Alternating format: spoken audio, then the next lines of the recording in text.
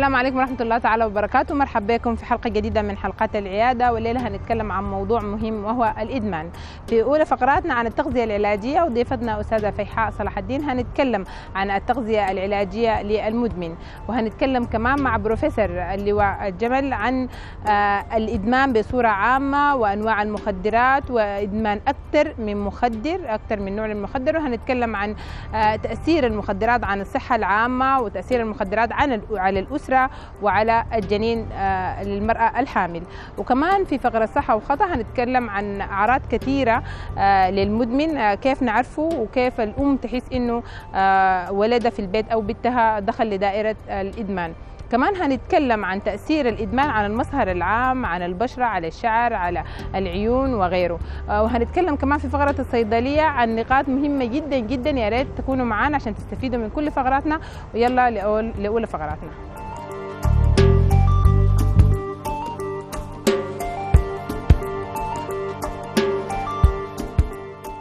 مرحبا بكم ومرحبا بكل اللي انضموا لمتابعة برنامج العيادة وأولى فقراتنا التغذية العلاجية. زي ما عارفين 26 يونيو اليوم العالمي للتوعية ضد المخدرات يوم مهم جدا في حياتنا وفي حياة كل أسرة. المخدرات أصبحت واقع كثير من الأسر بتعاني من أنه يكون فرد من أبنائها يعني مدمن. دي مشكلة كبيرة جدا تتأثر كل الأسرة. هنتكلم في حلقتنا الليلة عن حاجات كثيرة بتخص المخدرات. هنتكلم الأعراض الأساسية وأنواع المخدرات والمخدرات في السودان. وهنتكلم عن التغذية العلاجية وهي جزء أساسي لمريض أو الزول المدمن. لازم التغذية العلاجية يكون عندها دور مهم جدا. ده اللي هنتعرف عليه الليلة في فقرتنا وضيفتي لي الليلة أستاذة فيحاء صلاح الدين نوح أستاذة التغذية العلاجية.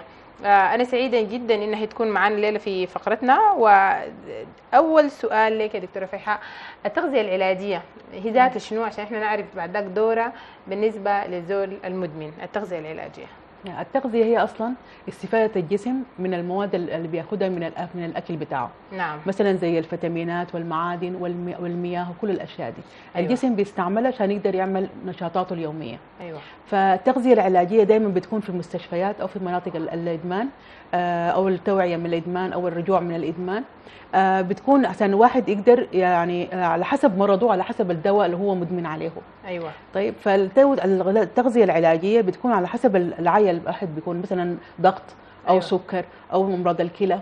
فبيكون في ده في أكل معين الواحد المفروض ياكله عشان جسمه يقدر يتخلص من المواد السامة ويستعمل المواد المفيدة. أيوه. يعني إحنا مسميها التغذية العلاجية. التغذية العلاجية. لأنها مرتبطة بمرض أو مرتبطة بدواء معين الجسم المفروض يمتصه. نعم. آه الزول المدمن بعد مرات بتتغير فيه حاجات كثيره يا أستاذة فيحاء. بتغير طبعه بتتغير عاداته الغذائية آه سلوكه مع ناس البيت آه طريقة قرايته.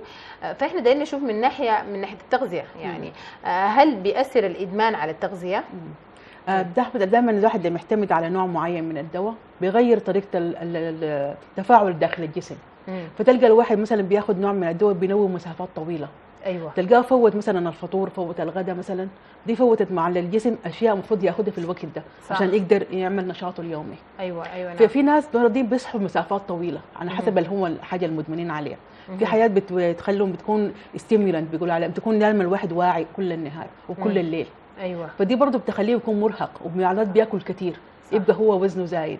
أيوه نعم. لكن معظم الأدوية اللي هم بيعتمدوا عليها المدمنين بتكون دائما بتكفل الشهيه مهم. وبتخلي نعم. النوم يكون متقلب. يعني صح. يا بقى نومه كثير يا بقى نومه بسيط صح. دخل بعمل له صداع تعمل له آه طمام تعمل له آه انخفاض في الضغط. نعم. لأنه الأكل ما بيصل للأعضاء الجسم كله نعم فتلقى نعم. العضلات تحت الجسم آه بقت مرخية. المخ ذاته بقى الدواء الأكل ما واصله بقى ما قادر يودي التعليمات لجسم باقي الجسم صح تلقي الدم انخفاض الدم نزل آه مهم. فتلقي الإنسان دائما بيكون في حالة بتاعت فتور بتاعت آه انزواء كده أيوه صح آه. آه اذا دي كلها اضطرابات بتؤدي يعني آه إذا كان فقد آه يعني عنصر غذائي واحد عنده أعراض كثيره جدا بالضبط. فما بالك إنه الزول المدمن إنه يكون نايم طول النهار والليل وفاقد كمية من الحاجات مثلا بالضبط. فيتامين الف وسي أو فيتامين سي وفاقد آه، فيتامين د فدي كلها يعني يعني بعد مرات آه، يعني بيجينا الزول المدمن ده عنده حاجات جسدية عضوية تانية صح يا آه، دكتورة أيوة. بي- بيفقدها كثير آه. آه طيب آه لو أنتم في مركز بتاع تأهيل أو إعادة تأهيل يعني لزول المدمن يعني آه عشان يوقف الإدمان وكده جانب التغذية هل بيلعب دور مهم وأنتم بتعملوا شنو في التغذية حقته يعني مم. مثلا وهل بقت يا دكتورة في مراكز. آه لل- للعلاج من الإدمان وهل في جانب التغذيه العلاجية دي مقدم هنا في السودان؟ زي ما عرفنا إحنا الزول المدمن أهم حاجة في تفكيره هو إنه يتحصل على الدواء اللي هو عايزه عشان. أيوه. يقدر يتحصل على الحاجة اللي بياخدها منه النشوة المعينة نعم. هو بياخدها منه فآخر همه بيكون إنه ياكل شنو. وياكل بتين مم. فدي بتأثر على جسمه كثير لأنه هو بي- الحاجة اللي بيختار ياكلها لجسمه بتكون حاجة بس تكفي للجوع أيوه لكن ما بيفكر في إنه هو حياكل مادة أو حاجة بتكون إنها مغذية لجسمه. صح. فتلقيه فقد كثير. أيوة. بياخذ منهم ياكلوا دهون كثيرة. فالناس المدمنين على الكوكايين مثلا تلقي جسمه ما ممتص الدهون كويس لكن بيخلي الجسم بياكل الدهون وبطلعها طوالي. يا سلام. في نوع ثاني من الأدوية اللي هم بيعتمدوا عليها بتعمل نوع من الطمام الواحد بيستفرغ طوالي بيستفرغ كثير آه، يا سلام. آه. فدي بتخلي الواحد يكون ما قادر يعني عشان كده في المناطق تحت آه، الريهاب دي يعني أيوه. إعادة التاهيل على التأهيل دي نعم. لازم يهتموا بالأكل لأنه ال- ال- حالات الانسحاب أول ما يجيبوا الواحد للمناطق دي تحت المستشفيات مثلا أيوه. بيحاولوا يسحبوا الدواء من جسمه. المدمن عليه ده. آه. نعم. فأول ما يحاولوا يسحبوا ال- الدواء من جسمه الأعراض بتظهر إنه بيجي يعمل رجفة مثلا أو أيوة. عرق أو كده. أها. نفس الطريقة الواحد لما يكون ما فاقد جزء من الأكل بتاعه المهم. صح. تلقيه عنده رجفة تلقي عنده عرق تلقي عنده آم، آم، عدم شوف كويس آه، كده. اضطرابات زي دي. نعم. فدايما الناس. ما بيعرفوا يفرقوا بين الواحد يكون هل هو مدمن أو هل هو بس جعان يعني.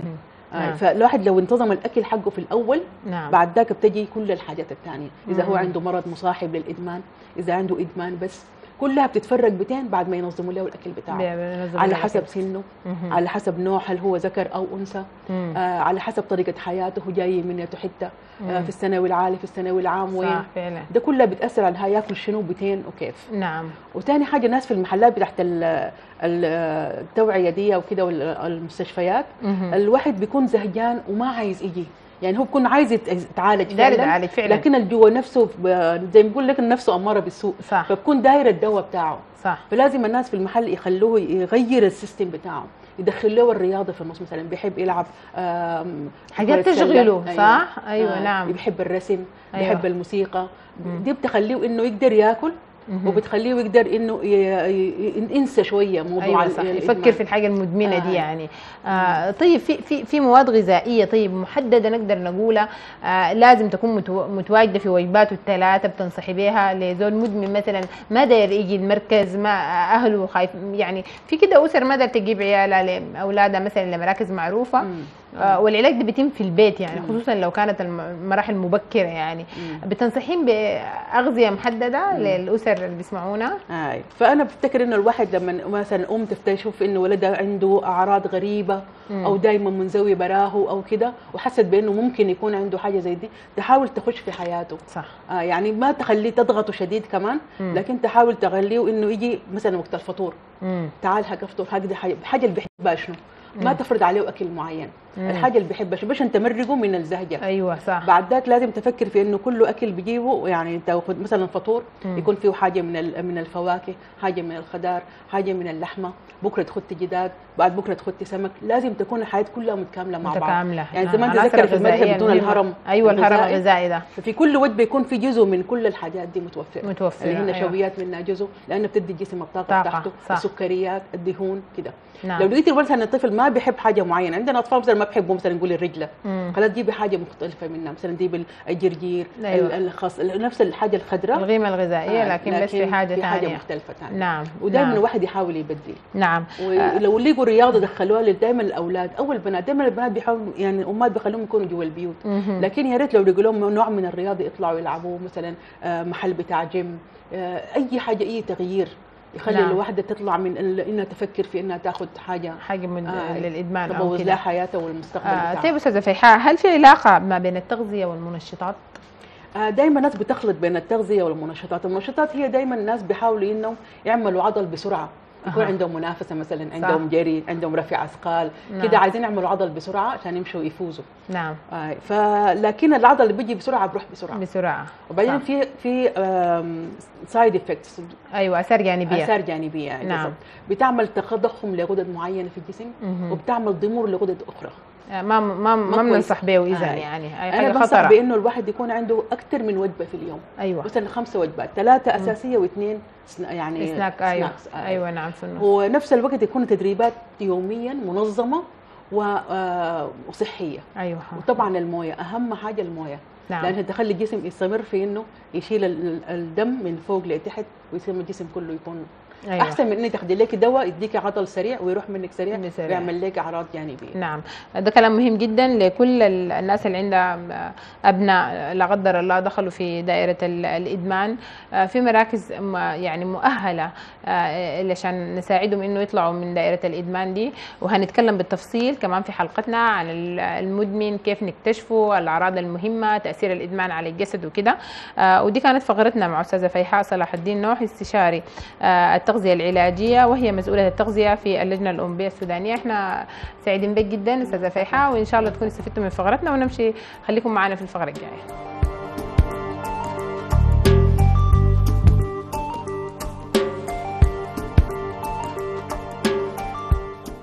في فقرتنا هنتعلم عن كثير من العادات أو التغيرات.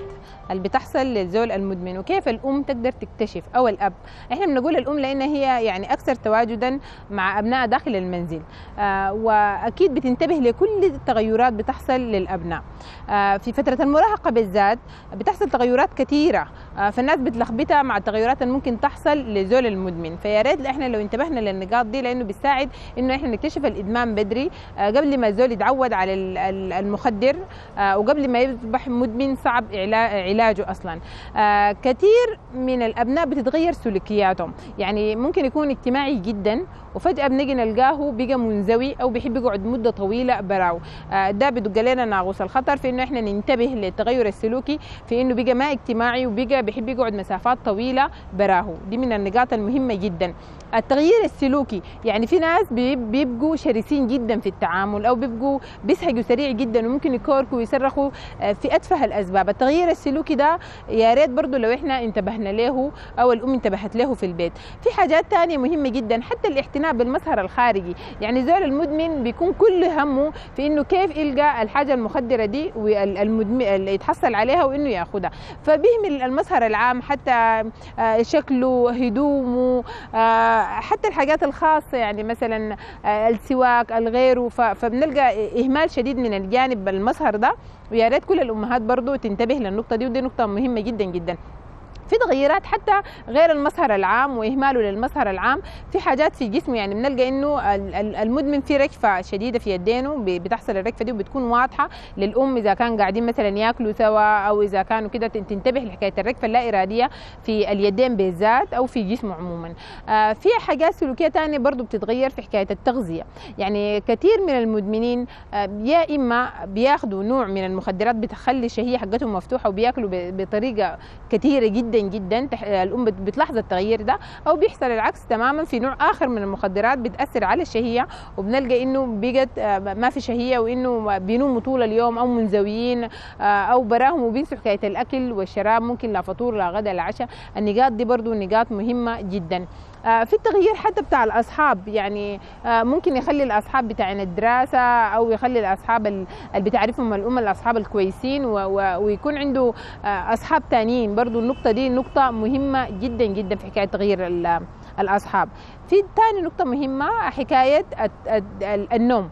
يعني في نوع من المخدرات بيخلي زول مصاب بأرق آه ما بينوم ممكن يجر لك اليوم حد بكرة يومين ثلاثة ما يكون نايم ويكون تعبان جدا جدا. وفي مخدرات العكس بتخلي حكاية النوم تكون بزيادة ونوم طويل طويل طويل لمسافات طويلة. كثير من المخدرات بتعمل آه، اضطرابات آه، أو أعراض جسدية بتشبه أمراض تانية. يعني مثلا بتلقى في نوع من المخدرات ممكن يعمل بيخلي الزول يتقيأ يتقيأ لدرجة شديدة يعني. ودي بتساعد في الهزال حقه بالإضافة للنوم ساعات كثيرة بالإضافة لإنه شهيته بتكون مقفولة فبكون عنده نقص في مواد غذائية مهمة بتسبب له أعراض بتكون واضحة من الخارج. فيا ريت لو نحن انتبهنا لكل الحاجات دي آه، والأم كانت لصيغة جدا بابنائها عشان أول بأول ان إحنا نكتشف ال- المدمن ونسرح في علاجه.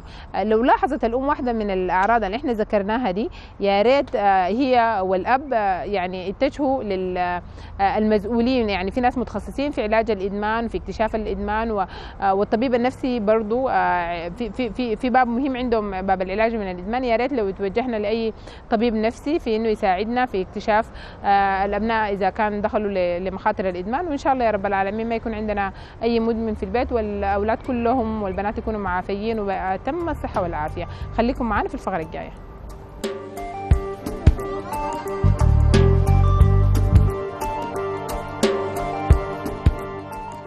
مرحبا بكل اللي انضموا لمتابعة برنامج العيادة. وصلنا لفقرة مهمة جدا جدا آه، آه، فقرة الصيدلية. فقرة الصيدلية ومهمة كمان في موضوعنا الليلة. كثير من الأدوية موجودة في الصيدلية بتعالج حاجات مهمة وخصوصا فيما يتعلق بالجهاز العصبي للإنسان. ولكن هذه الأدوية قد تقود للإدمان للناس القاصدين الحاجة دي. يعني الطبيب دائما بيكتب جرعة ما بتؤدي للإدمان. لكن في ناس بيعرفوا إنه الحبوب دي ممكن تكون مخدرة وبيجي ياخدوها من الصيدلة بغرض الإدمان. كيف بيتصرف الصيدلي؟ كيف بيتصرف الطبيب الصيدلي في الحتة دي بالذات. ولو كانت الروشتات مضروبة وكيف يعرف انها مضروبة وما مضروبة ده ده, ده هيكون محورنا الليلة في فقره الصيدلية. وضيفنا الدكتور أحمد عثمان وإحنا ضيوفه آه، في صيدليه في صيدلية بايو pharmacy شارع مكة. مرحبا بك دكتور أحمد عثمان ومسؤولية كبيرة. آه أنتوا بتقعوا بها لما يجيك آه هل هو عيان ولا ما عيان؟ هل الدواء ده آه الروشتة مضروبة ولا ما مضروبة؟ بتتصرفوا كيف الحتة دي؟ طبعا المشكلة دي مشكلة كبيرة جدا بتواجهنا نحن كصيادلة. في ان إحنا نعرف كيف الروشته مضروبة أو ما مضروبة لكن إحنا من الجامعة درسونا إنه كيف تخت الدواء بتاع ال CNS drug في درج معين أو مخزن معين يكون بعيد على نظر المدمن نعم لأنه المدمن لو وقع في عينه هناك حيقول لك يا حيصير عليك صار. جديدة وأنت ما بتقدر تسيطر عليه ما ما, ما معروف ممكن يعمل لك شنو صح، ممكن فعلا. ممكن يضربك ممكن وفي بعض الأحيان بتكون شغالة بيت ممكن أيوة، تخاف. تخاف إنه إنه الانفعال رد الفعل بتاعه إنه يضربها إنه كده. أيوه. وممكن تديه عادي. إذا ما بتكون ظاهرة في في درج مخصص ح- لا، حقت لا. الجهاز العصبي طبعا دي. طبعا. نعم أدوية السي إن إس كلها بتكون في درج مخصص نعم. ما بتكون قاعدة برا بانه يشوفها المدمن طيب. الروشتة بالنسبة للروشتة في روشتة خضراء الروشته الخضراء دي اللي هي بتجي من من الدية للعيان بياخدها من الدكتور بتكون مختومة بختم من من المستشفى. نعم. وبتجي بروشتة خضراء. دي اللي آه يعني دي روشتة براء خالص الروشته أيوة، الخضراء دي. أيوة. نعم. في أدوية برضو لكن دي ممكن ما بتحتاج روشتة خضراء. لا دي هي مشكلة حقيقية هي بتواجهنا إحنا كصيادله نعم. لكن روشتة خضراء أدوية بروشتة خضراء في أدوية لازم روشتة خضراء. انت تخلي معاك روشتة نعم. من الروشتات دي عندك. وتصرف على أساس الدواء على أساس الروشتة الخضراء دي أنت بتيجي تستلم منها من من الشركة ثاني بروشته نعم. الخضراء. يعني يعني الروشتة الخضراء دي حرصا على إنه الناس ما تدخل في حتة حتة. الإدمان دي زي الترامادول أو غيره من الأدوية مثلا دي إلا بروشتة خضراء طبعا صح؟ طبعا. نعم. وإلا في حتات معينة. وإلا في حتات محددة. أيوه أيوه. لأنه تمام. بقى طبعا في صعب في صعب إنه يلقاها ذاته. أيوه صعب. ففي أدوية ثاني في أدوية ثاني ممكن هي بتلقى فيها المشكلة بتاعت إنه شنو؟ إنه الروشتة بتجي مضروبة. نعم. يعني الروشتة بتجي مختومة مرات من ختم من المستشفى بتجي روشتة مختومة مضروبة ممكن يكونوا مصورينها بسكانر للدرجة دي. أيوه للدرجة نعم. دي يكونوا. مصورينها بسكانر يجيبوها لك أنت في الصيدلية طبعا. نعم. ممكن مرات ما تعرفها لأنه مصورة بسكانر صح، صح. بعد ذاك أنت بتشوف على حسب اللي هناك كيف. في روشتات ثانية بصوروها بسكانر وبيكتبوها براهم. عشان يكتبوا. تاريخ جديد. تعرف يعني بيطبعوا نعم. بيختم بيصوروا ختم بتاع. الطبيب. بتاع العظام وكده وكده. أيوة. حسب الزول ما شنو؟ نعم. بيصوروها بيختم بياخدوها بسكانر بيطبعوها بيكتبوها براهم. دي مشكلة كبيرة. أيوة. لأن. الزول المدمن ده بيبقى مجرم والزول المدمن ده بيبقى مزور وبيبقى كل حاجة. طبعا. آه، زي دي طبعا صعب إنه الزول يعني يعرفها يعني. والله يا أخي هي صعب صعب إنه يعرفها وسهل إنه يعرفها. ما هو طبعا الهيئة بتاعت الزول ذاتها بيجيك أنت بتكون عارفه. إحنا نعم. بنتعامل هنا في في صيدليات المجتمع. إنه طبعا الناس بتجي أول حاجة بيقت لصيدله المجتمع أيوه. فبيجوا بيجوا في الصيدلية أشكال وأنواع. أنت فانت صح. بتميز بيقدر تميز بين زول ده مدمن ولا ما صح مدمن فعلا فبكون في تصرفاته هو واضح إنه هو زول مدمن ولا. زول ما مدمن. فعلا بعدين حتى لو أنت غلطت صرفتها له نعم. انك أنت خلاص أخذت إنه ديرو شتة مختومة صحيحة حيتردد عليك تاني. أيوه فعلا أيوة. كلامك صح. حيتردد عليك كثير جدا. فلما يتردد عليك كثير جدا أنت هتعرفه. أنت حتعرفه نعم. أكيد. دكتور أحمد حصلت لك حاجة زي دي. اكتشفتها؟ وكنت بتتصرف كيف بصراحة يعني؟ طبعا أنت أسلم حل إنك تتصرف معاه وتقول له ما عندي ما موجود. ما تخش معاه في نقاش. صح صح أسلم صح. حل إنك تقول له ما في. الدواء ده يا أخي والله يخلص مننا. أو مم. ما في. لو أنت خلاص لو أنت حصل إنك انت صرفت له بحيث إنه أنت وثقت فيه. أو حتى لو روشته صحيحة 100% بنكتب إنه تم صرف الدواء. يعني تم صرف 14 حبة. لو شاء مثلا 20 حبة. أيوه. نكتب له تم صرف كذا. نعم. لأنه شنو عشان ما يعيدوا استخدام الروشته مره أخرى. أيوه نعم يعني في في دواء بيكون مكتوب مثلا 60 حبة بس. ما بيستمروا. في دواء باستمرار باستمرار لمدة ثلاث شهور. نعم. بتقوم نحن بيقوم لازم الصيدلي طبعا دي ممكن في صيدليات ممكن ما تنتبه لها أها. لكن دي حاجة مهمة جدا جدا.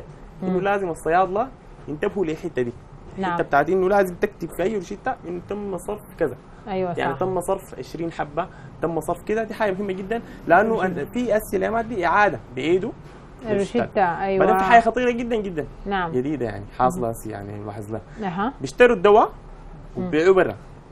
ثاني يعني بالروشته المضروبة دي لو اشتروه منك بيشيلوه. ويبيعوه برا كمادة لل- مخدرة أيوة. للمدمنين آه دي مصايب. حاجة حكاية طيب آه، هل ال- الروشتات الخضراء دي بعد ذاك بيتم جمعها في نهاية الشهر آه، بتمشي لوين الروشتة الخضراء اللي أنتم بتكونوا شلتوها من الناس ال- الروشتة أي. الخضراء طبعا هو انت ما بتشيل منه م- دواء الدواء باستمرار لو آه. الدواء باستمرار ما بتشيلها منه آه، ما لكن لو اديت جرعة منه. كامله ممكن تسحبها منه انت أيوه لكن لو جرعة مستمر فيها ما حتقدر تشيلها منه أيوه هيقول لك لا. روشته الثانية حدي الدواء ده لمدة نعم. ثلاث شهور حجيب نعم. من وين نعم ده زي ده بتديه ده أصلا روشته خضراء طبعا ده, ده أنت زول ترستد بالنسبة لك انه أيوة زول. فعلا بتعالج مهم. تدي روشته خضراء دي ما في اثنين ما ثلاثة في اثنين ثلاثة لكن المشكلة إن إحنا في الروشتات بتجيك مضروبة من المستشفيات أيوه مختومة بختم.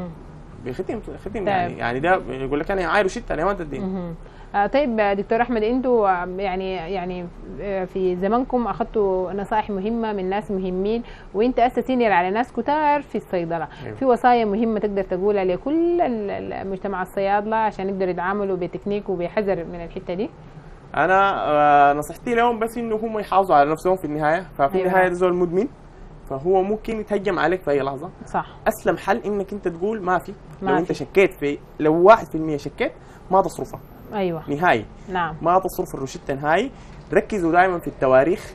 دائما الروشتة المضروبه بتكون فيها بتكون فيها غلط دائما صح. حيكون فيها غلط بتاع إنه ما مكتوب ما مكتوب الجرعة ما مكتوب عدد الحبات ما مكتوب الاستعمال كيف. طبعا الطبيب مستحيل ينسى حياة زي دي. صح. ممكن يكون تجيك من غير اسم. نعم. دي حياة كلها ممكن تركز فيها. لو أنت شكيت لو ها لو 1% ما تصرف الدواء ده نهائيا.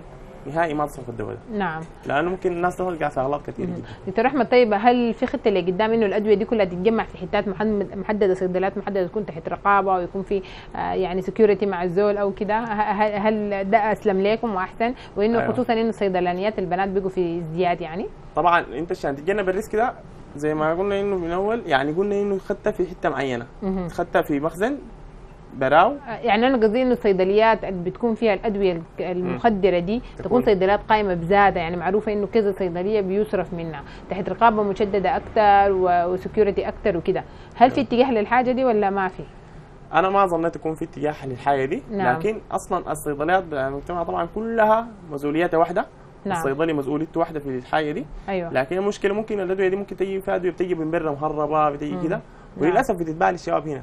نعم وشباب الشباب اللي أنا كثير مدمنين الحبوب نعم مدمنين الحبوب كثير جدا جدا يعني أنت بتجيك ال- الفئة بتاعت الجامعات أكثر أيوة، صح؟ أيوة. يعني آه، وهل العالم ده دخلوه طبعا للأسف بنات وأولاد طبعا صح؟ صح؟ والله نسبه البنات كمان بقت أكثر بقت أكثر يعني. آه، وبتلاحظوا للحاجة أيوة، دي للأسف. استفدنا منك لأنه بيقولوا إنه كثير البيت يعني تقدر مم. تشيل بالساهل آه أيوه البيت يعني فدخلت- فدخلوا والله اللي. حبوبتي يا أخي ما عارف تعبانة كده الصرف للدواء بيكون أيوة، بطريقة كويس، أسهل لو أيوة. ما كانت هنا دي نقاط مهمة جدا أنت ذكرتها دكتور أحمد. تحب تقول حاجة في ختام فقرتنا الليلة؟ في فقرة آه والله أنا بشكر يعني الإستضافة الجميلة دي وبشكر دكتور إيمان آه بشكر بروف أحمد جمال على الإستضافة الجميلة دي.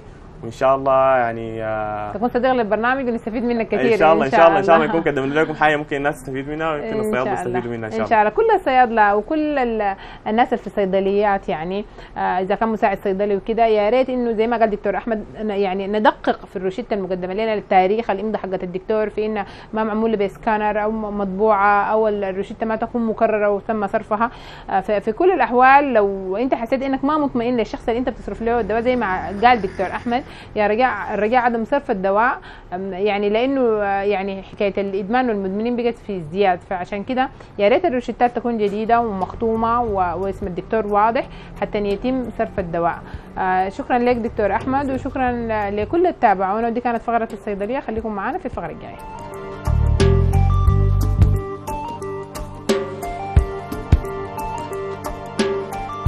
آه، مرحبا بكم في فقرة مهمة برضه إحنا هنتكلم في فقرتنا دي على أهم التغيرات على مظهر ال- الشخص المدمن.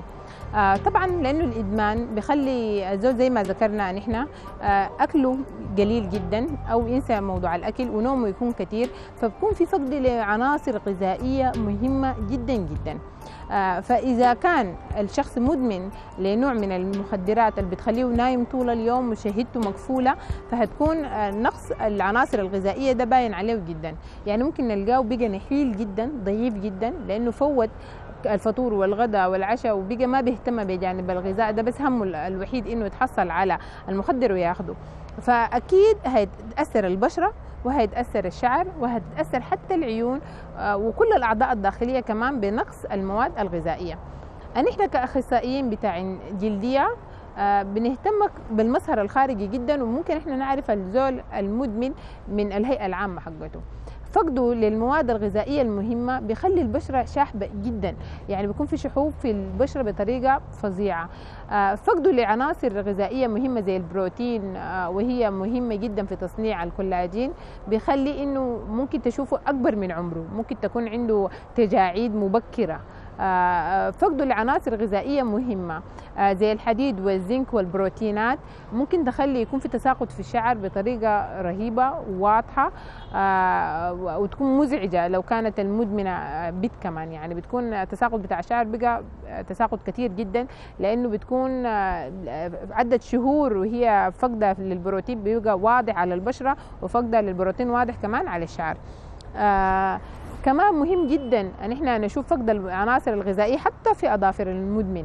يعني ممكن تظهر آه، بقع بيضاء أو الأظافر تكون هشة جدا آه، آه، وتقع بسهولة. فدي برضو من العلامات المهمة. عيون المدمن علامة مهمة جدا جدا. يعني إحنا أول ما نشوف المدمن إحنا ممكن نشوف هالات كثيرة جدا من السهر. آه، النوع اللي بيساهر مدة, طويلة وما بينوم بارتياح أو فاقد. آه، آه، عناصر غذائية مهمة. بتكون عندهم هالات واضحة جدا لأنه بيكون مساهر طول الليل. وبنلقى عندهم عيون حمراء عينه ذاتها بتكون حمراء. واضحة جدا ومرهقة جدا. فدي نقاط مهمة إحنا لازم ننتبه لها الهالات زي ما ذكرنا في العيون العيون الحمراء زي ما ذكرنا تساقط في الشعر كثير جدا شحوب آه، وعلامات بتاع الشيخوخة مبكرة. آه، أي عنصر غذائي عنده دوره في البشرة وعنده دوره في الشعر وعنده دوره في الأظافر. نقص البروتين معناته تساقط فظيع في الشعر معناته فقد للشعر بالتدريج لدرجة إنه المدمنين ممكن بعد سنوات من الإدمان شعرهم يبقى بسيط جدا جدا. حتى الهزال بيكون واضح يعني الزول بيكون بقى ضعيف لدرجة مبالغ فيها. آه، لأنه تقريبا شهيته مكفولة تماما بالمخدر اللي هو بياخده ده. لو الأم دايرة تنتبه زيادة كمان بنلقى المحل بتاع الحقن إذا كانت نوع نوع المخدر من النوع اللي بيتحقن به نلقى المكان بتاع الحقن في في في, الساعد أو في اليد. آه، دي من العلامات المهمة والظاهرة. يعني أصلا ما داير لا اثنين ثلاثة. لو لو بقى ما بيلبس يعني كم قصير أو بيحاول يدس يدينه طوالي بالكم ال- ال- ال- ال- الطويل دي برضو آه، علامة مهمة جدا. يعني وجود أكثر من آه، ضربة بتاعت حقنة أو حتات مخدرة في اليدين.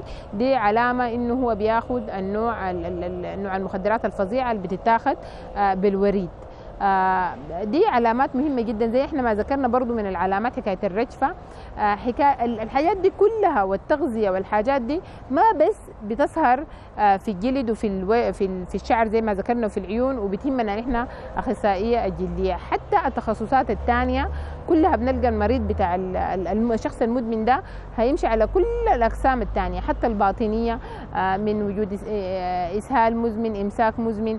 حتى بنلقاهم مشوا لدكاترة النفسية باكتئاب غيره. هل وبرضه بنلقاهم مشوا لدكتور الأعصاب بنل- بنلقاهم برضه مشوا لدكتور النساء والولاد في اضطرابات داخلية هرمونية فالمادة المخدرة بتنتهي من الجسم خارجيا وداخليا. آه، فيا ريت آه، كل الناس اللي بيسمعوني لو عندهم أي شخص مصاب يعني أي شخص مدمن أو بيعرفوا في محيطهم أي شخص مدمن يا ريت إنه يساعدوه مبكرا. قبل ما الأعراض الطفيفة اللي بتكون ظاهرة دي تبقى أعراض مميتة وقاتلة آه، وممكن النهاية تبقى فظيعة حقيقة للإدمان. إحنا بنتمنى إنه يكون ما في أي مدمن إن شاء الله لا في السودان ولا في العالم آه، لأنه دي يعني يعني بفتكر إنه زول المدمن ده زول ميت يعني زول غير منتج وما عنده طموح وما عنده امال وما عنده مستقبل ما هيبقى عنده مستقبل إلا بوقف المخدرات والإدمان.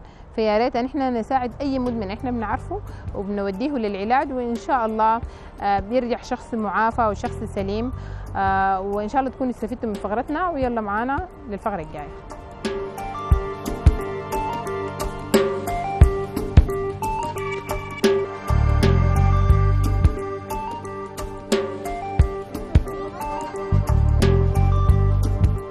السلام عليكم ورحمة الله تعالى وبركاته. مرحبا بكل اللي انضموا لمتابعة برنامج العيادة. وفقرتنا مهمة جدا عن الإدمان آه، وما هو الفرق بين السموم والعقاقير وما هو العلامات المهمة جدا للزول المدمن وكيف نكتشف ال ال ال الإدمان والزول المدمن في البيت وما هي أنواع الإدمان ذاته ال- ال- الإدمان بدا يكون منتشر جدا في الجامعات وفي المدارس للأسف.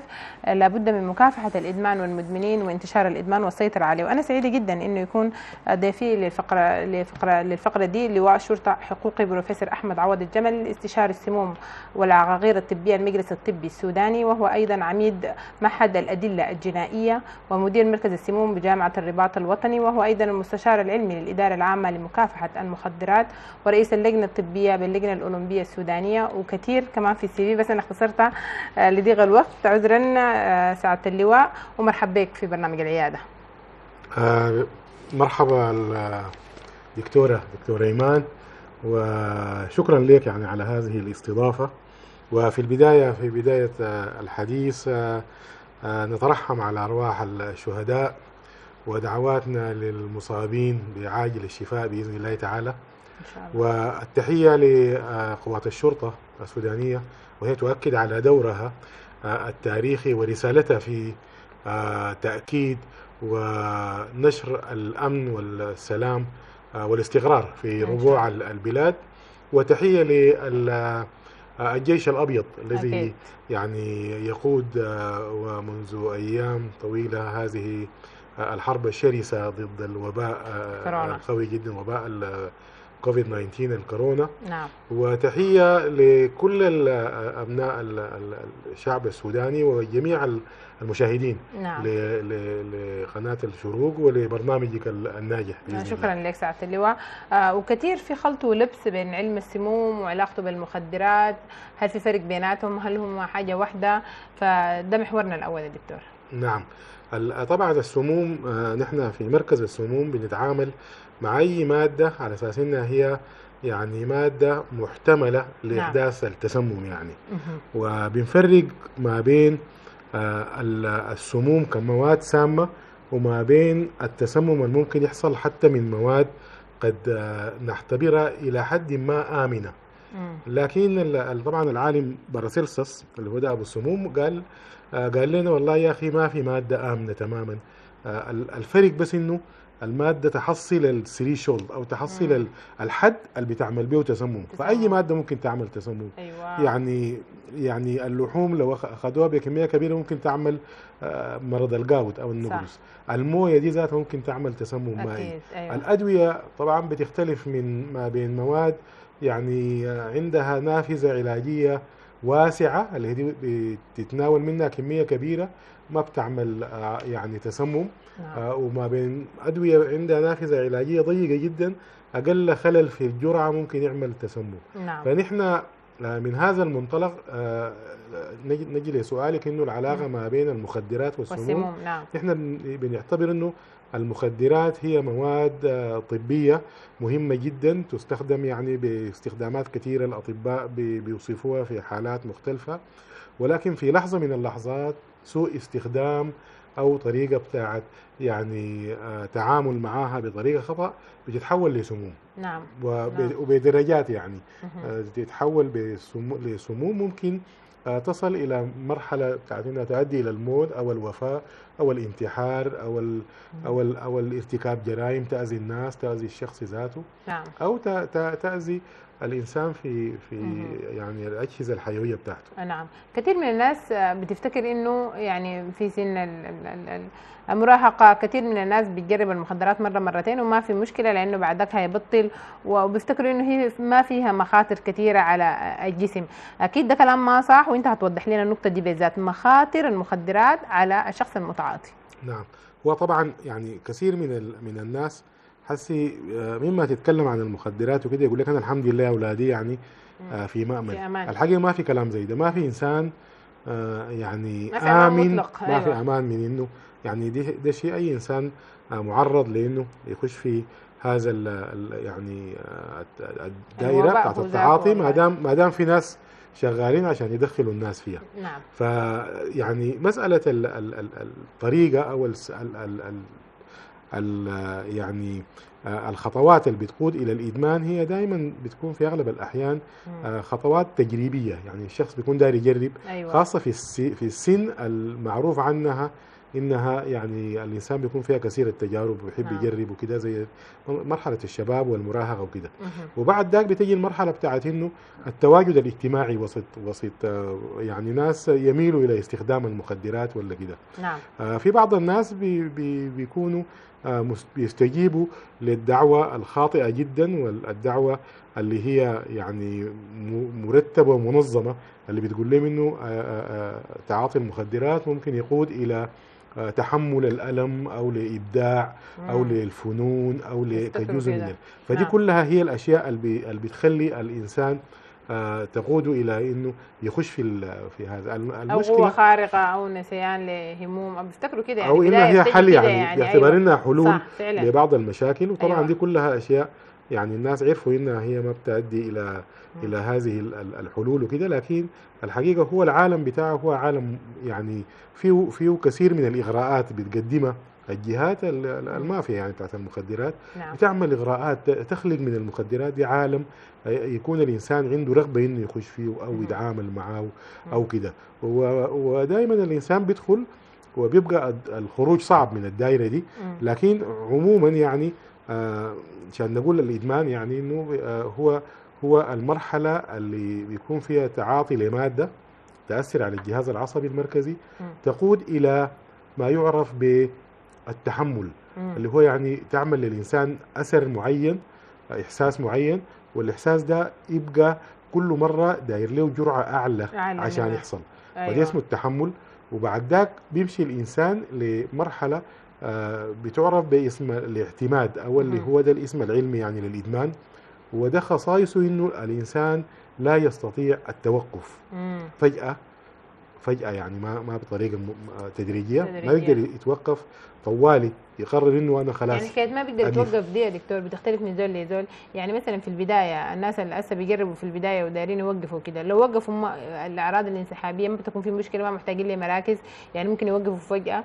آه ولا في ناس إلا تصل مراحل محددة بعد شهور حتى بتكون عندهم مشكلة في إنه يوقفوا من المخدر. آه ده ده سؤال طبعا ممتاز جدا. مم. يعني هم الناس في ناس في مرحلة تجريب. أيوه. في ناس في مرحلة ما وصلوا فيها لمرحلة الاعتماد مم. المرتبطة بالأعراض الانسحابية. نعم. الأعراض الانسحابية معنى كده الإنسان وصل مرحلة بعد ما يقدر يقيف لو وقف حيصاب بمرض أيوه. حيصاب بأعراض خطرة جدا مم. وتعتمد ال- مم. الأعراض دي بتختلف حسب نوع المادة نعم. حسب نوع المخدر قوتها وفترتها وكده. آه، ال- بالنسبة للسؤال بتاعك إنه هل الإنسان يقدر يجيب في أي مرحلة؟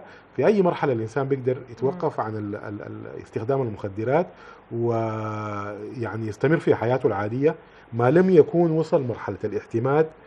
المرتبط بالأعراض الانسحابية. نعم لو وصل للاعتماد في الحالة دي داير مساعدة قرار الوقوف. داير مساعدة، داير. مركز علاج،. داير مركز بتاع يعني إعادة تأهيل،. داير داير داير يعني مساعدة ودعم نفسي. داير آه، يعني دعم من الأسرة وكده. يعني بيكون خلاص وصل مرحلة إنه يعني هو داير آه، داير داير إمكانيات كبيرة عشان ما يقدر يرجع لحياته يرجع الطبيعية. لحياته الطبيعية. فعشان دي مرحلة ما دايرين يعني الناس تصل ليها دي طبعا الإنسان بيصليها إذا إذا هو استمر في التعاطي آه، بطريقة منتظمة. آه، يعني وبطريقة آه، فيها يعني بدأت تظهر له حكاية التحمل بدأ. يمارس هذا التحمل يزيد في الجرعة كل مرة أيوه عشان نفس الإحساس. ولكن الشيء المهم برضو إنه كمان المخدرات دي. مقسمة لأنواع كثيرة. جدا وكده فكل واحدة من المخدرات دي عندها فترة. زمنية معينة وجرعات معينة بتقود للإدمان أيوه يعني في بعض في بعض المواد الأفيونية بالذات نعم آه، زي الهيروين مثلا. ده إذا الشخص استخدمه لفترة وجيزة يعني آه، بيتحول لإدمان بيتحول. لاعتماد وبتبقى نعم. الحكاية صعبة جدا أيوه حاجات خطرة جدا نعم آه، طيب دكتور كده آه، أنا دايرك تحكي لي تجارب يعني تكون حزينة آه، ودي بتكون عظة لناس كثيره آه، بدوا الإدمان أو أصحابهم المخالطين لهم أو كده. ف... فإنتوا يعني عايشتوا أسر وعايشتوا مشاكل كثيره أدينا نعم. نماذج كده. نعم. نعم. هي طبعا ال ال يعني آه نحن لفترة لفترة كده كنا بنفتكر إنه ال- ال- المجتمع السوداني فيه مواد فقط هي المواد اللي بتزرع في السودان زي ال زي ال- مشتقات. الجنب زي نعم. البانجو زي كده نعم لكن آه، آه، يمكن آه، في يعني نهايات ال- الثمانينات كده ومع يعني ظهور حركة آه، بتاعة آه، يعني لل- للهيروين بالذات وكده بدأ يحصل نوع من آه، يعني ال ال الاستخدام للهيروين في نعم. السودان نعم ونحن عاصرنا يعني ال- ال- الحالات بتاعت الوفاة يا سلام آه، يعني يمكن كان فيهم آه، نساء سودانيات وكان نعم. فيهم رجال وكانت كانت الوفاة تحدث آه، ل- لأسباب إنه تعاطي مم. مادة الهيروين. نحن لما جينا نعاين للحاجة دي نشوف الأسباب بتاعت التعاطي دي يعني هل هو الشخص كان بيتعاطى ومات يعني أيوه فلقينا إنه في واحدين بتكون الجرعة زايدة أها. وزيادة الجرعة ما بتكون من الشخص ذاته مرات بتكون من طريقة إعداد الهيروين للتوزيع. فيكون تم إعداده في مرحلة من المراحل بتركيز قليل مم. يعني قولي 5% ولا كده نعم. والشخص يكون بدأ يعتاد على هذه الجرعة بياخدوها أغلب ال- المدمنين دي بياخدوها بالحقن يعني. نعم.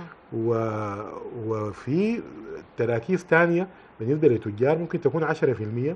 فيجي ياخد الجرعة نفس الجرعة اللي كان بياخدها لكن التركيز الآن بقى مضاعف. مضاعف. وتحدث الوفاة دي جرعة زايدة. أيوه لكن أيوة. مرات بيكون الوفاة نتيجة لوجود آه، استخدام للهيروين مثلا معه مادة مادة ثانية ثانية بتأثر على الجهاز العصبي المركزي مم. تعمل تثبيط للجهاز. يعني نعم. بيسموها زي زي الفينوباربيتون زي. المواد آه، ال- ال- اللي يمكن أن تكون آه، تتسبب في عملية آه، ما يعرف بال synergistic effect يعني نعم يعني التعاضد ما بين ال- الدوايين عشان يعمل أثر قوي جدا أكبر من أثر كل دواء براو أيوه نعم فتلقى إنه مثلا جرعة بتاعه آه، هيروين ما بتقتل الشخص العادي لكن لما ياخدها مع.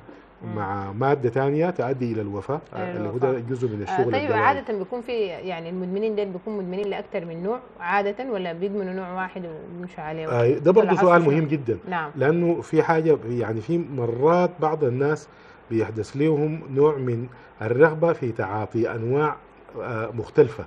يعني آه، اللي هو يعني آه، ينساقوا ورا موضة معينة أيوة. ظهرت. نعم. يعني لما ظهر ال- الكوكايين. مم. الناس كانوا بياخدوا الكوكايين آه، ظهر بعده ال- الكراك. مم. ففي ناس يتحولوا للكراك وفي ناس آه، يعني كانوا بيفتكروا إنه لا الكراك ده آه، يعني مادة طبيعية وكده وبتاع نمشي للأنفيتامين نعم. اللي هو ده مادة مصنعة ومشتقاته طبعا خطرة جدا. يمكن آه، يعني كلنا شفنا حوادث عنف كثيرة جدا. آه، تمت تحت آه، يعني تأثير هذه المادة فهي آه، مسألة الاستخدام لأكثر من مادة نعم دي بتكون واحدة من الأسباب مهم. الممكن تؤدي إلى انه الشخص يصاب ب يعني آه، آثار خطرة جدا خطر يؤدي يموت يعني يعني, نعم. نعم, آه يعني الخطر بتاع الإدمان ده ما بس على المدمن يا دكتور على المدمن على أسرته على المرأة لو كانت حامل. ودي يعني أخطر الأنواع إنك أنت بتظلمي حتى جنينك ده ما شاف الدنيا دي وممكن تكون في مخاطر كثيرة. تكلمنا عن النقاط دي تأثير الإدمان على ال ال ال ال الأسرة تأثير الإدمان المدمن المدمنة على جنينها وهي حامل. ودي أنا افتكر جريمة يعني. أيوه.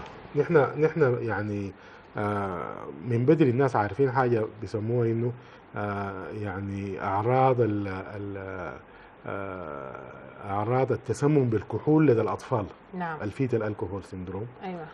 ودي بتجي من يعني تعاطي الأم للكحول عشان كده بيمنعوهم إنه يشربوا كحول نعم. في فترة الحمل أيوه. واللي هي فيها فيها تشوهات يعني. نعم. آه، تظهر في الوش ومرات لكن تكون قوية جدا تأثر على القلب وكده. نعم. لكن آه، يمكن آه، أنا أقول لك مادتين. مم.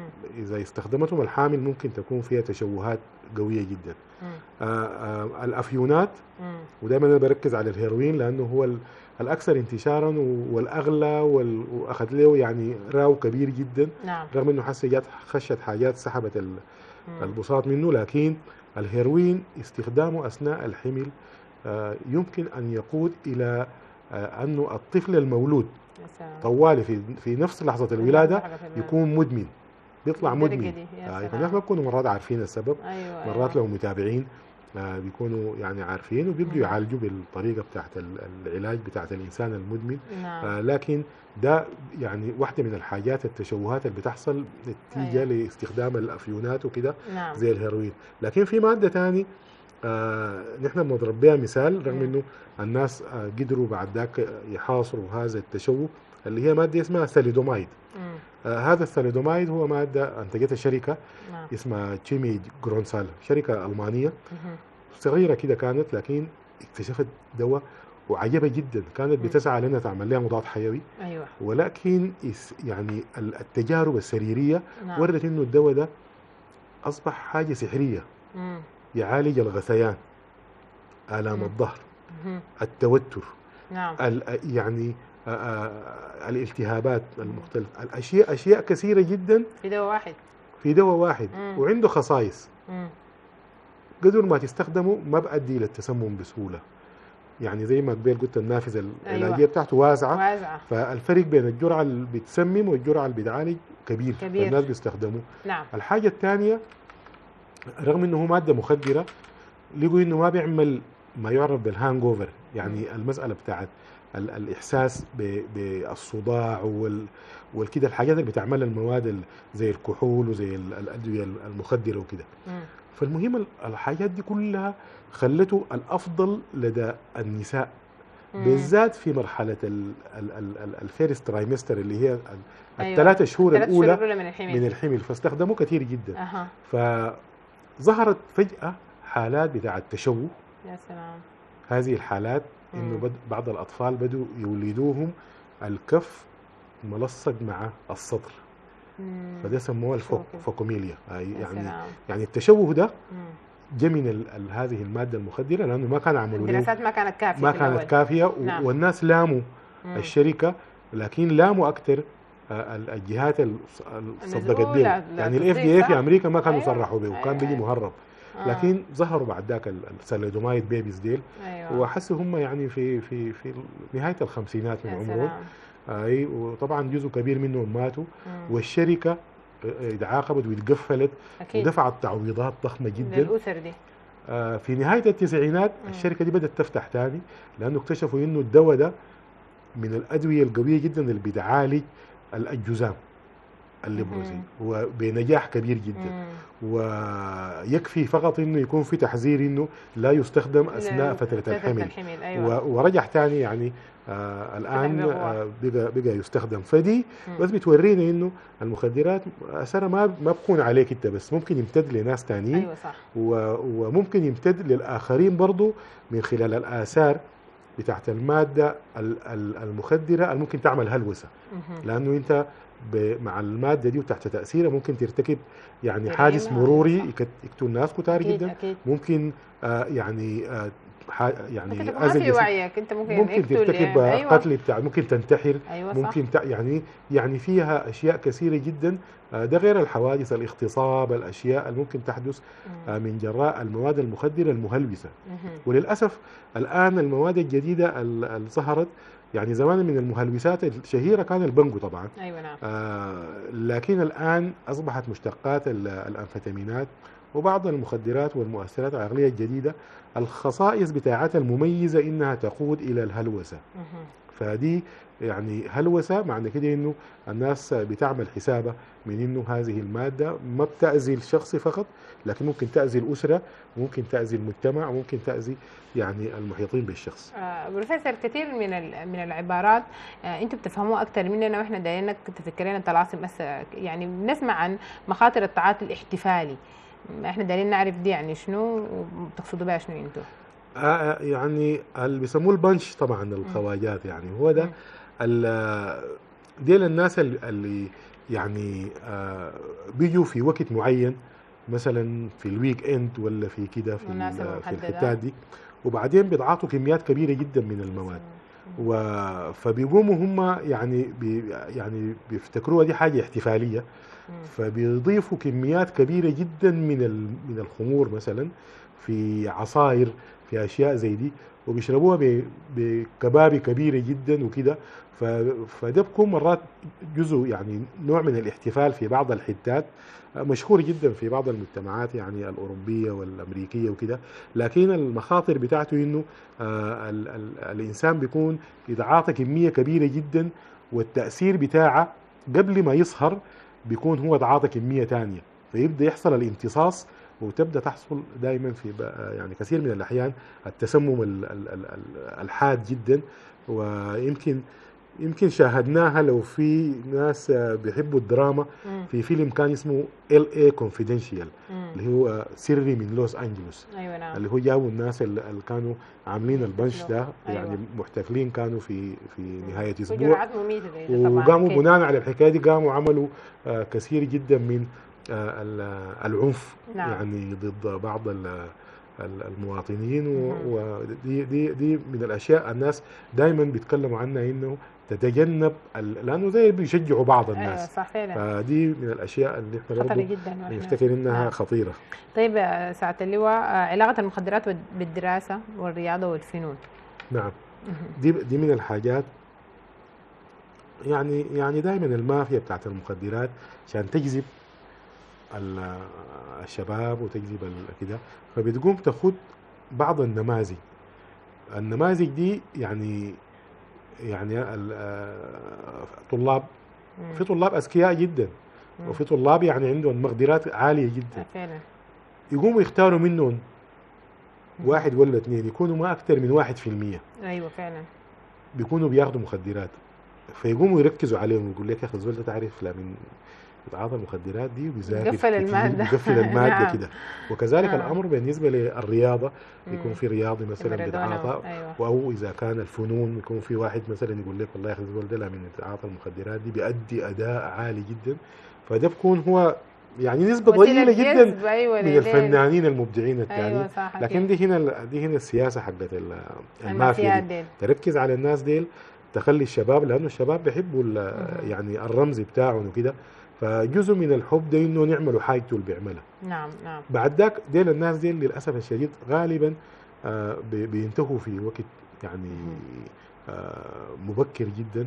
آه، بتكون حياتهم مأساوية أكيد لكن ما بيلقوا الضوء على. الحاجة دي بيمشوا نعم. على جهة ثانية يعملوا وهكذا يعني. وهكذا نعم. آه طيب يا دكتور هل الأسر اللي عندها أبناء دخلوا آه، لدائرة الإدمان دي آه، بيستعينوا بكم هل في مراكز آه، للعلاج من الإدمان موجودة في السودان آه، وكيف يعني بيتم بيتم التعامل جواها كيف جوا المراكز دي أيوه طبعا يعني يمكن نحن بحكم إنه برضه آه آه، التواجد في وسائل الإعلام وكده. وأنا حاسس بشكركم جدا والله على إنه يعني آه خليتوا لنا الاحتفال هذا العام نعم. آه باليوم العالمي لمكافحة المخدرات 26 نعم. يونيو. آه بالرغم إنه احتفال اسفيري لكن زي الحلقة دي حسي هي دعم ل آه الاحتفالات كمان لتوعيتكم الاحتفالات بال- باليوم العالمي بالمخدرات وكده. نعم. فيمكن معرفة بعض الأسر آه، بهذه الأنشطة وكده بتخلي الناس مرات يتصلوا بينا. يعني بالرغم من إنه نحن ما الجهة ال- ال- ال- المناط بها العلاج ولا الجهة المناط بها. يعني بيجي يقول لك والله عندنا كذا وكذا وكذا فنحن بنقوم بإرشادهم. لأنه يمشوا وين يعني. آه لحد خمسة سنوات آه، ولا كده آه ما كان في مراكز يعني متخصصة في العلاج نعم. الآن الحمد لله يمكن تكون في زي آه ثلاثة مراكز أو كده. آه يعني آه طاقات استيعاب مختلفة لكن أصبح الآن هناك علاج بروفيشنال مهني عالي جدا آه متخصص في الإدمان زمان الناس بيجيبوهم. يكون في مستشفى بتاعت علاج نفسي جزء من العلاج بتاع المرضى النفسانيين أيوة. بأمراضهم المختلفة بيخشوا الناس المدمنين بيعتبروا إنه ده نعم. يعني مرض آه، مربوط بالجهاز العصبي المركزي وهو. مرض نفسي وكده نعم. لكن حسي ديل بيخشوا بيتعالجوا بطريقة فيها متابعة فيها تأكد من المواد هل مادة واحدة هل يعني بياخد أكثر من مادة مم. آه، بيبدوا له برنامج دائما فيه نوع من يعني ال- التدرج أيوه نعم وهسه العالم بي- بي- بيدرج ال- العلاج. يعني يكون مرحلة آه، يسحب فيها ال- المادة من من ال من ال الدم المدمن. المتعاطي أو كده. آه، آه، إذا حصلت أعراض انسحابية يديه حاجة تخفف الأعراض الانسحابية ولكن تكون أقل في قوتها. ومقدرتها على الإدمان بحيث إنه يسحبها تدريجيا. وبعد ذاك يبدأ الجزء بتاع الكونسلنج أو ال أو, أو ال يعني الاستشارات الاستشارة. نعم. والتأكد من الشخص إنه وبعدين بيجي بيجي بعد ذاك الدعم. إنه يخطوه في حتة بحيث إنه آه بقدر المستطاع إذا لقوا عنده هواية ينموها عنده. إذا هي طبعا المسألة كلها مربوطة بإنه أنت الوقت بتاعك بتستخدمه كيف. فأنت نعم. إذا كان لقيت في حاجة بتحبها في حاجة بي بي بتستمتع بها هتشغلك أيوة وبتكون دي على حساب يعني ال- ال- مسألة الإدمان والأشياء زي دي. فأنا يعني أفتكر إنه في الآن في علاج في إعادة تأهيل ولكن نحن بنحتاج. الحقيقة يعني أنا دي لازم الواحد يقولها بكل صراحة محتاجين. نعم. بمراكز آه، حكومية نعم مراكز كبيرة جدا مراكز آه، يعني فيري ويل equipped فيها فيها أجهزة كويسة فيها آه، كوادر بشرية جيدة لأنه مسألة الإدمان مسألة المخدرات الخسائر بتاعتها يعني هي خسائر كثير من الناس ما بيشوفوها مباشرة شريحة مهمة الشريحة المنتجة الشباب يعني بالضبط أيوة بالضبط نعم، فأنت نعم. لا من شاب يعني من من بدايته خلاص كده.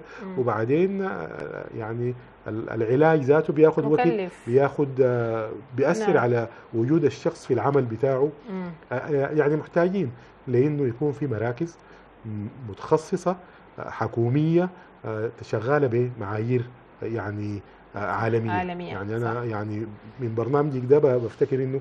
آه، هذه الأشياء نحن آه، بندعو لأنها تتوفر في أقرب وقت ممكن يعني. إن شاء الله سعاده اللي نعم. وإحنا حقيقة استفدنا منك كثير وإن شاء الله انتبهوا لكلامك ده كل الأسر وإن شاء الله يعني آه، يعني في نهاية السنة دي يعني آه، أي نعم إنه جاتنا جائحة الكورونا لأن نعم. لكن الكورونا حاجة ما بيد الإنسان لكن الإدمان ده الزول بيمشي له وهو باختياره يعني أيوة. فإحنا بنتمنى إنه آه، كل الأسر تكون ابنائها معافين تماما وما ينساقوا إلى الإدمان وال- والأسر تراقب بدري بدري كل ال- الدلائل والأدلة اللي بتقول إنه الولد أو البنت ممكن يكونوا من المدمنين لا قدر الله. نشكرك حقيقة اللواء شرطه حقوقي بروفيسور أحمد عوض الجمل استشاري السموم والع- والعقاقير الطبية المجلس الطبي السوداني. آه، وإن شاء الله اللي قدام برضو إحنا هنساندكم جدا وأنتم كمان آه، توعيتكم لكل الأسر. شكرا لكل اللي تابعونا دي كانت حلقتنا الليلة عن مكافحة المخدرات. 26 يونيو اليوم العالمي لمكافحه المخدرات والتوعية ضد المخدرات. دي كانت حلقتنا الليلة. إن شاء الله استفدتوا منها ونتلاقى الأسبوع الجاي في موضوع جديد وحلقة جديدة. في أمان الله.